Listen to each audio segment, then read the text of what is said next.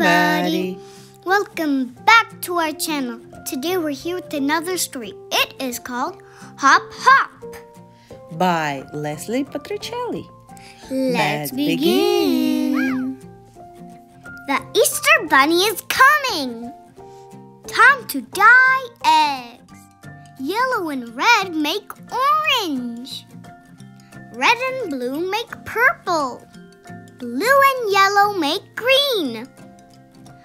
I do an art project. Hop, hop, we're Easter bunnies. At bedtime, I put out my basket. I want to stay awake to see the Easter bunny. But I'm too tired. In the morning, I find jelly beans, a book about chickies, a chocolate bunny, yum, and my Easter basket.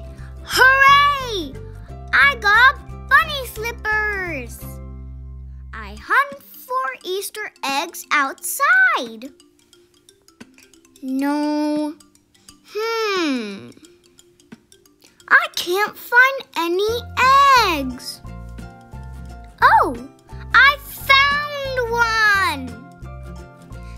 Happy Easter. The end. So I hope you enjoyed. Don't forget to like and subscribe and hit that notification bell. And we'll see you in the next video. Bye. Bye.